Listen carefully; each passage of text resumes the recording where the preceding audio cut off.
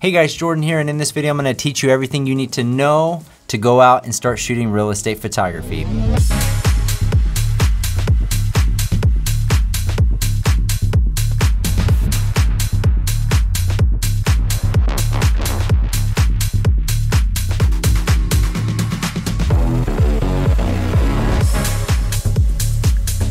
So before I dive into it, a little bit about myself. I started shooting real estate photography almost 10 years ago.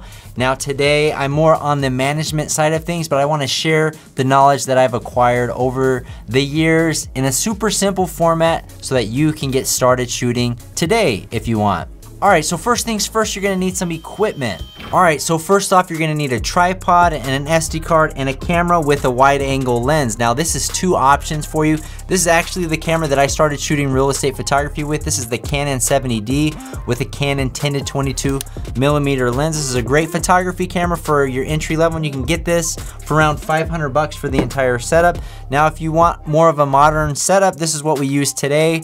This is the Sony a7 IV with the 16 to 35 power zoom lens. Now this setup is a little bit more expensive at around $3,000. So depending on what your budget is, these are two great camera options. This one is great for both photography and video and will be great for years to come. But if you need to start on a budget, this is a great option for you. All right, now I wrote down some notes from a settings perspective. Now I recommend shooting brackets if you're just getting started. HDR shoot negative three, zero, and plus three. And from an ISO perspective, I recommend shooting auto ISO from 100 to 400. Anything above 400, you might get a little bit too much noise. And then from an aperture setting, I recommend shooting 7.1. Now with these camera settings, what it's gonna do, the brackets, it's gonna shoot negative three, zero, and a plus three. And in the editing process, you're gonna take those three images, blend them together, get good details outside of windows, as well as good information on the interior of the property.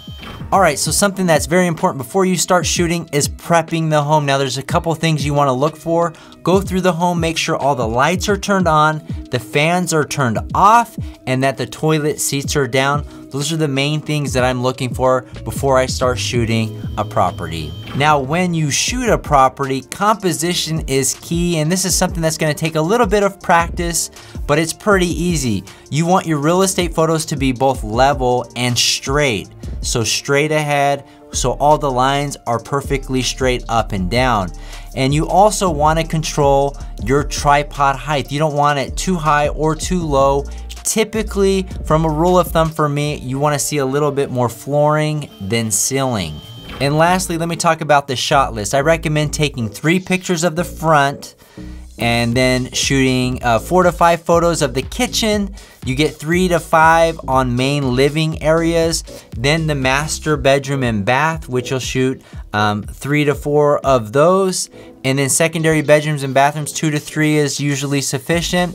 And then once you're finished with the interior, go out back, usually four to five photos of the backyard, starting at the porch and then working your way around.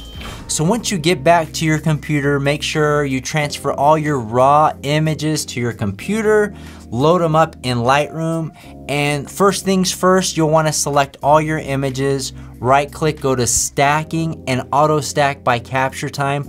Typically three seconds is gonna be sufficient to stack all your images. All right, so once you have all your photos stacked into stacks of three, you'll wanna right click, go to photo merge, and then select HDR.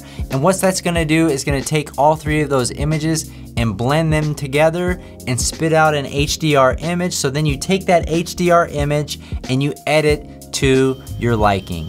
So once you're done editing, you'll just export them and I typically recommend labeling your folder the property address and as well as the file names to the street name of that property.